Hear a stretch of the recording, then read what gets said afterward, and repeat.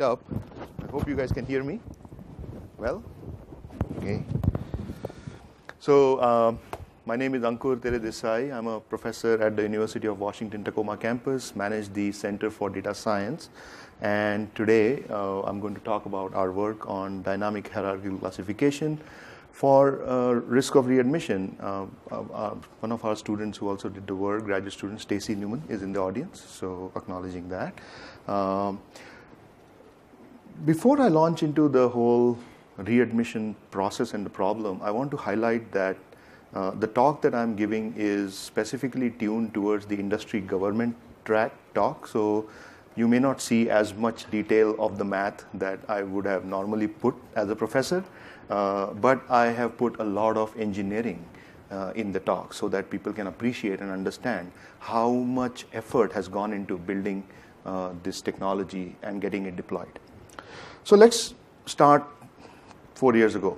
Obama is elected, well, eight years ago. Obama is elected, Affordable Care Act comes in, and uh, there is a claim that, you know, 76% of all readmissions are considered avoidable. In fact, the claim is that these readmissions are costing us $17 billion annually as taxpayers. Uh, and one in three patients gets readmitted to the hospital within a month if they are facing a chronic condition. The problem was considered extremely severe. Uh, if you go hospital by hospital by hospital across the United States, you will notice that uh, the numbers are worse than that in many, many, many hospitals. Uh, the highlights of our work that I'm going to talk about today is we have designed a framework. So, this is not a single machine learning model, it's a framework for automatically developing a hierarchy of readmission models that can be deployed quickly. Uh, it does feature selection and feature ana- factor analysis uh, on its own. The, the concept is, uh, is, is very nice. Uh, it can be augmented by a lot of work that uh, you know, people like Rich have done uh, in, this in this framework. and, and I want to acknowledge the amount of work someone like Rich has done over the last five years in this field as well. Uh, various classification algorithms are automatically designed using different layers, and we can tune or optimize for a variety of AUCs uh, or AUC precision recall and quality metrics. And we have done rigorous uh, empirical evaluations uh, and deployment is the biggest one. So when normal people think about uh, a patient, we always think about a linear flow. A patient gets admitted to the hospital, uh, doctors in the hospital are working hard on this patient, trying to solve the problem. Uh, they get admitted to emergency. From emergency, they move to an inpatient setting. Uh, after they are inpatient, a bunch of treatments and procedures get done. And then the patient goes into what we call as ambulatory or post acute care, and then they, they're supposed to go home. Unfortunately, uh, and there are many tools that do these predictive modeling at various parts of the patient life cycle. Unfortunately, this view of healthcare is entirely wrong. Uh, the view of healthcare is something like this it is a cycle of chronic care where patients get admitted, uh, they, they face some difficulty in the care, and then that care is never complete, so they keep coming back. And not just can you treat the problem of uh, chronic care management as only readmission, the problems of readmission, mortality, and quality of care are all highly correlated in that context. So, you have to have solutions that not only target one objective function, such as readmission, you also need solutions that target other objective functions which are highly correlated to the problem of readmissions. This was all uh, what was going on in our mind when we were designing this dynamic hierarchical classification framework. Today's talk is going to, and the paper specifically focuses only on the CHF 30 day risk of readmission, but I'm, I'm providing you the context of why it is important. So, when we began this work about three and a half years ago, uh, we said, okay, you know, this patient, so we were approached by multiple provider partners. Uh, here is a patient, patient is Dorothy, Dorothy is ready for discharge, uh, and can you predict if Dorothy is likely to come back to the hospital? And we said, okay, so, you know, we all uh, attended Ronnie Kohavi's talk about setting right objective functions yesterday, and, and we said, well, let's set some right objective functions. So, what is the objective function? Is it uh, predict a risk score for Dorothy, or is it predict a probability uh, of a risk score uh, given a threshold, and then you binarize it, right? So you can set up this problem in multiple different ways. What we tried to do was we said, okay, let's attack it from a simple data science perspective. Uh, you, have a, you have a bunch of historical data of patients, you extract the features, and then you, you build a machine learning. You throw a bunch of machine learning algorithms at it, and you build a model, right? And then when you know you got class labels uh, and so on, then you get a predictive model out of it. And when a new patient comes in, we will simply extract features, score the patient, and we are done. Unfortunately, healthcare does not work like that. Healthcare is closer to, uh, I'll leave it up to your imagination to imagine which part of the picture represents healthcare. Uh, but that's what we learned. We learned that, you know, there are many, many, many different uh, optimization criteria to move the healthcare animal uh, uh, forward, right? The problem is even more severe because healthcare itself is so siloed with multiple data sets, multiple factors. And today, in the healthcare industry, there are enormous number of tools that attack each of these separately. So if you take LACE score, they will tell you that they do best state of the art, you know, CHF risk, risk of readmission prediction using vitals and comorbidities. That's it, right? And then you take something else and they will tell you, oh, I only work on lab tests and other things. What we really wanted to build was an infrastructure, a framework that takes into account all of these things claims, clinical, vitals, socio-demographic factors, nurses' notes, unstructured text, all of it. How can you get 100% uh, patient 360 overview of a patient in the life cycle, including variables, and do the predictive modeling? And then you would wonder, as a data scientist or as a machine learning person, uh, what will make the physician happy? I think in the previous session, a couple of people asked that question. So, what does it take to get a model deployed? And what you learn is this is what makes the physician happy. Okay? Most of the hospital centric tools today are very simple Excel type spreadsheets where a care manager or a nurse practitioner is very happy predicting the risk of readmission of a patient as long as the patient scores above a 6 on a 0 to 10 scale. Okay? They're happy with this solution. It's our job as data mining community, as machine learning scientists, to have a bake-off with such risk tools. And each of us is going to have to fight this battle with a different version of this tool for the next five years. That is the struggle that we as, as machine learning data scientists people were trying to face uh, at hospitals. Now, is that the end of it? Have I, have I painted a story that is so bad that there is no solution? Of course not. Yes. most of these risk groups have very high false positives? Yes. So, so again, just like we are all falling into the trap of, uh, you know, reading papers, accepting papers based on AUC scores, uh, the tool designers have fallen into that trap as well. In fact, it is so bad that 80% of the tools won't even do out of sample scoring. And I'm not kidding. You know, they, they don't do k-fold cross validation. They will just take 10, 10 samples from the same patient set, give it to you as a case study, and they will say, look, I saved, I can you know, save 8 out of these 10 patients on which I had originally trained the model. It's that bad. So what we started to do, what we started to rethink the problem in a very different way. We wanted to be cloud friendly.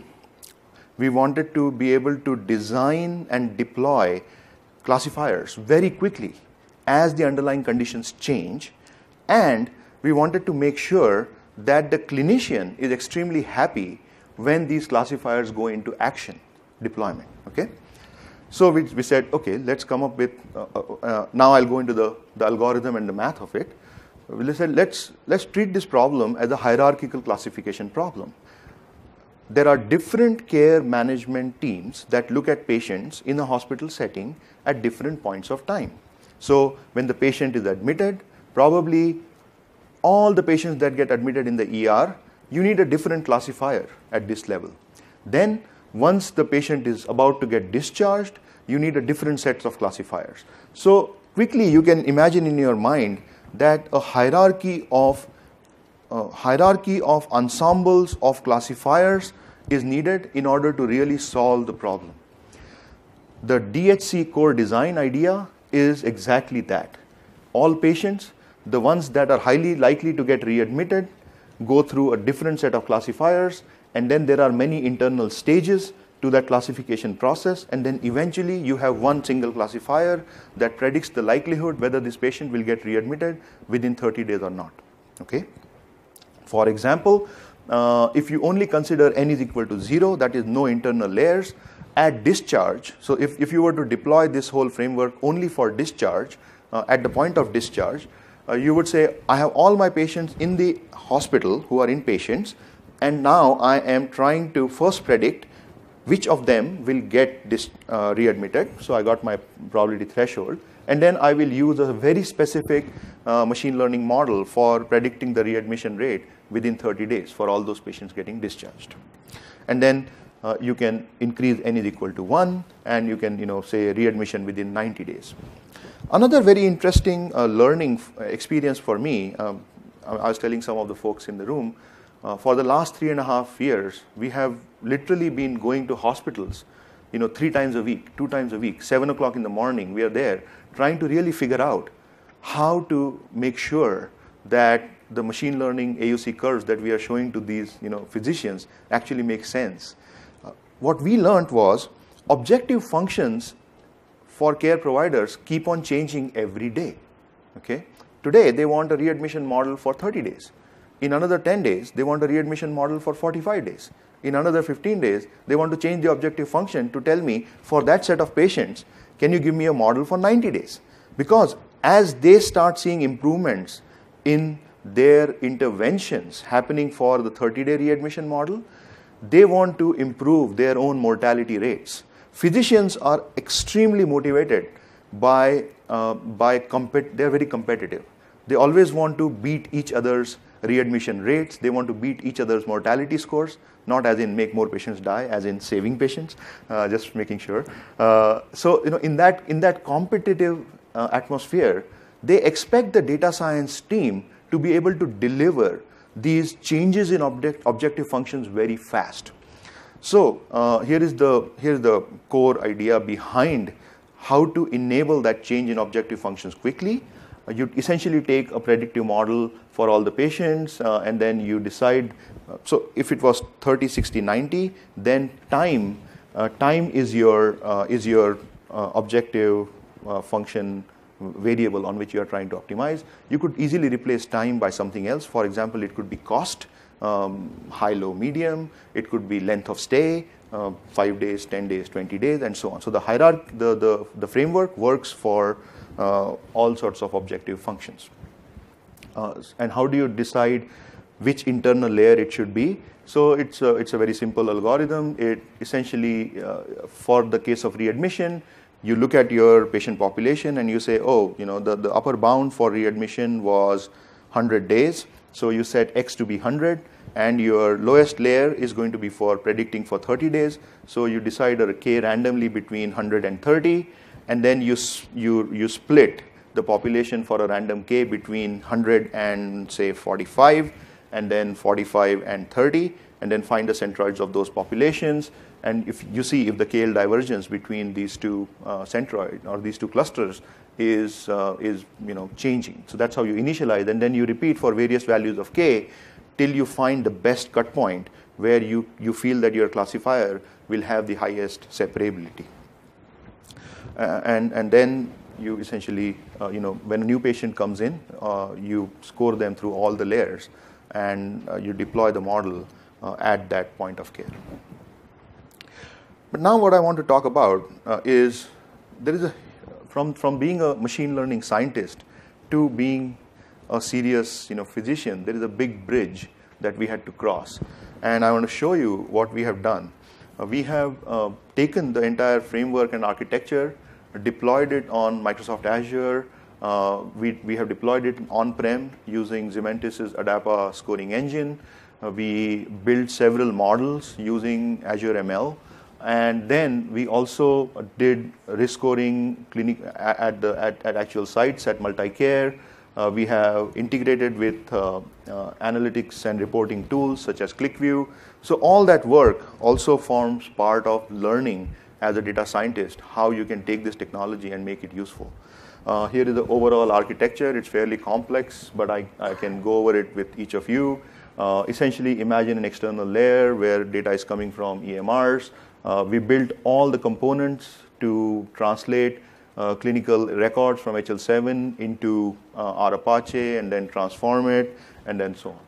Uh, these are some of the screenshots of our deployment. Uh, so the score actually gets connected. Uh, you can see that there's the UWT risk score, and then that risk score, uh, you know, I've blown that up here. So the, when the clinician visits and looks at the score, they can see it, they can sort patients by it. And in fact, now we are integrating with EMRs where the score will be front and center in the cardiac workflow for the patients uh, right, right now.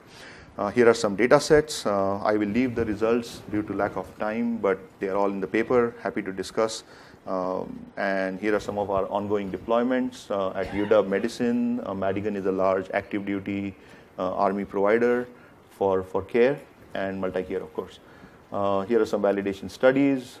We were pretty accurate. Out of you know 360 patients that readmitted for 30-day uh, readmission in medium category, we were accurately able to predict you know 675 of them, and that's that's the proof in the pudding. Once you show these kind of tables or confusion matrices to any clinician, there is nothing they can do but accept that your model is better. Uh, last but not the least, it has been a wonderful journey with lots of graduate students and collaborators. I want to thank all of them uh, and acknowledge the support of uh, some of my uh, sponsors and funding uh, agencies. Uh, if there is one takeaway that I would like all of you to take from this talk is healthcare is not going to be easy.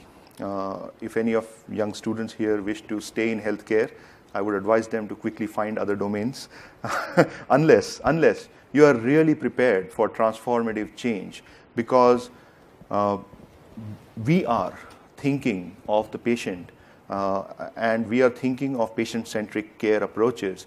Uh, then, if, if we are really serious about it, we have to think about all the touch points where machine learning can really impact the care of a patient, not just within the hospital or the EMR.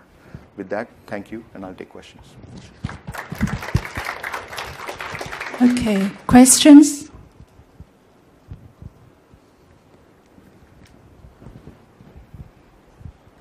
Uh, thank you for the great talk.